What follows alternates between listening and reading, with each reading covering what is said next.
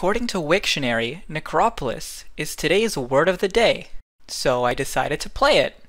And then I literally beat it in an hour and 15 minutes, so here, I guess.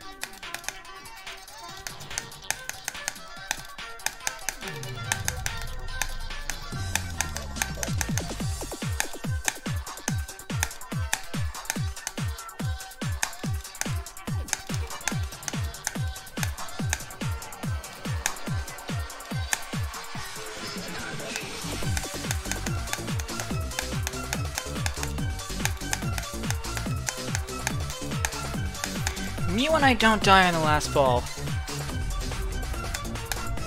Cool. I beat that in an hour and 15 minutes. What the heck?